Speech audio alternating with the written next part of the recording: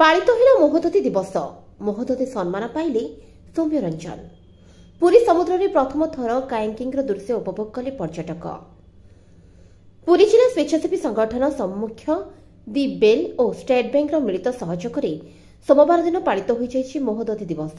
ଏହି କାର୍ଯ୍ୟକ୍ରମରେ ମୁଖ୍ୟ ଆକର୍ଷଣ ଥିଲା କାୟାକିଂ ରାଲି। ପୁରୀ ସମୁଦ୍ରରେ ବେଲ୍ ଅନୁଷ୍ଠାନ ତରଫରୁ ପ୍ରଥମ ଥର ପାଇଁ ଏହା ଆୟୋଜିତ ହୋଇଥିଲା।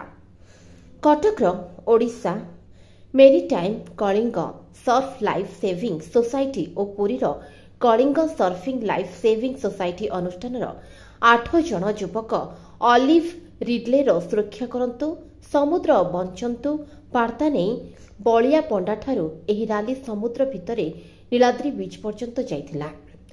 ଏହି ରାଲିକୁ ଜିଲ୍ଲା କ୍ରୀଡ଼ା ଅଧିକାରୀ ଚନ୍ଦନ ସାହୁ ପତାକା ଦେଖାଇ ଉଦ୍ଘାଟନ କରିଥିଲେ। ସେହିପରି ନୀଳାଦ୍ରି ବିଚ୍ ମୁକ୍ତାକାଶ ରଙ୍ଗମଞ୍ଚରେ ସ୍କୁଲ ଛାତ୍ରଛାତ୍ରୀମାନଙ୍କ ମଧ୍ୟରେ ଚିତ୍ରାଙ୍କନ ପ୍ରତିଯୋଗିତା ଅନୁଷ୍ଠିତ ହୋଇଥିଲା। ଏଥିସହ ମହିଳାମାନଙ୍କ ମଧ୍ୟରେ ମ୍ୟୁଜିକ୍ ଚେୟାର ପ୍ରତିଯୋଗିତା ମଧ୍ୟ ଅନୁଷ୍ଠିତ ହୋଇଥିଲା। ଏହି ଅବସରରେ ପରିବେଶ ଓ କଇଁଚ ସୁରକ୍ଷା ଦିଗରେ କାର୍ଯ୍ୟ କରି ଅନ୍ତରାଷ୍ଟ୍ରୀୟ ସ୍ତରରେ ନିଜର ସ୍ୱତନ୍ତ୍ର ପରିଚୟ ସୃଷ୍ଟି କରିବା ସହିତ ଲିମ୍କା ବ୍ଲକରେ ନିଜ କାମ ସାମିଲ କରିବା ପାଇଁ ଯୁବ ପରିବେଶିତ ସୌମ୍ୟରଞ୍ଜନ ବିଶ୍ୱାଳଙ୍କୁ ମହୋଦଧି ସମ୍ମାନ ଦୁଇ ହଜାର ବାଇଶ ପ୍ରଦାନ କରାଯାଇଥିଲା। ଏହି କାର୍ଯ୍ୟକ୍ରମରେ ମୁଖ୍ୟ ଅତିଥି ଭାବରେ ଯୋଗଦେଇ ଜିଲ୍ଲାପାଳ ସମର୍ଥ ବର୍ମା ମହୋଦଧି ଉତ୍ସବ ଅନୁଷ୍ଠାନରେ ଏକ ନିଆରା ପ୍ରୟାସ ଓ ଏହା ଆଗାମୀ ସମୟରେ ଓଡ଼ିଶାର ପ୍ରତ୍ୟେକଟି ଉପକୂଳ ଅଞ୍ଚଳର ସୁରକ୍ଷା ପାଇଁ ବାର୍ତ୍ତା ବହନ କରିବେ ବୋଲି କହିଥିଲେ। ଦି ବେଲ୍ ଆବାହକ ସିଦ୍ଧାର୍ଥ ରାୟ କାର୍ଯ୍ୟକ୍ରମର ଉଦ୍ଦେଶ୍ୟ ସମ୍ପର୍କରେ କହିଥିଲେ ଓଡ଼ିଶାର ବିସ୍ତୃତ ଉପକୂଳ ବର୍ତ୍ତମାନ କ୍ଷୟ ହେବାକୁ ବସିଛି ଯାହାଫଳରେ ପ୍ରାକୃତିକ ବିପର୍ଯ୍ୟୟ ସୃଷ୍ଟି ହେଉଛି।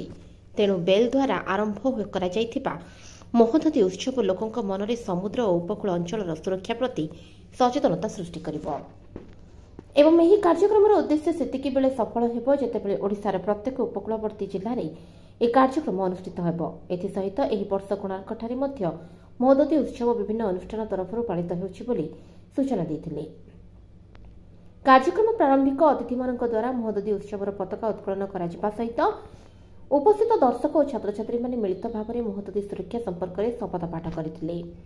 ଏହି ଅବସରରେ କାର୍ଯ୍ୟକ୍ରମର ଅନ୍ୟତମ ଅତିଥି ଭାବେ ଷ୍ଟେଟ୍ ବ୍ୟାଙ୍କ ପୁରୀ ମୁଖ୍ୟ ଶାଖାର ପରିଚାଳକ ବିଜୟ କୁମାର ଶତପଥୀ ଜିଲ୍ଲା ସୂଚନା ଲୋକସମ୍ପର୍କ ଅଧିକାରୀ ଶ୍ରୀ ସନ୍ତୋଷ କୁମାର ସେଠୀ ପ୍ରମୁଖ ଉପସ୍ଥିତ ଥିଲେ। କାର୍ଯ୍ୟକ୍ରମକୁ ଶିଶୁ ସମାଚାରର ସୁକାନ୍ତ କୁମାର ପଣ୍ଡା ଶ୍ରୀ ସାଇ ଉଦୟ ଲକ୍ଷ୍ମୀ ଟ୍ରଷ୍ଟର ରାଜକିଶୋର ପାତ୍ର ସମର୍ପଣର ବ୍ରଜ କିଶୋର ସାହୁ ବୋଧିଚାକ୍ରର ଉମେଶ ଚନ୍ଦ୍ର ଦାସ ଶ୍ରୀକ୍ଷେତ୍ର ଦିବ୍ୟାଙ୍ଗ ସେବା ସଂଗଠନର ଗଜଲକ୍ଷ୍ମୀ ରାୟ ସଂକଳ୍ପ ଫାଉଣ୍ଡେସନର ସୁଚରିତା ପାଢ଼ୀ ଆର୍ଟ ଅଫ୍ ଲିଭିଂର ସୁଚିସ୍ମିତା ମହାନ୍ତି ଅନେଶ୍ୱରର ସନ୍ତୋଷ କୁମାର ରାଉତଙ୍କ ସମେତ ଦି ବେଲ୍ ୟୁଥ୍ ଫୋରମର ସତ୍ୟନାରାୟଣ ସାହୁ ଓମ୍ ପ୍ରସାଦ ମହାନ୍ତି ଟିକିନା ପ୍ରଧାନ ଅମର ବାରିକ ପ୍ରମୁଖ ପରିଚାଳନା କରିଥିଲେ।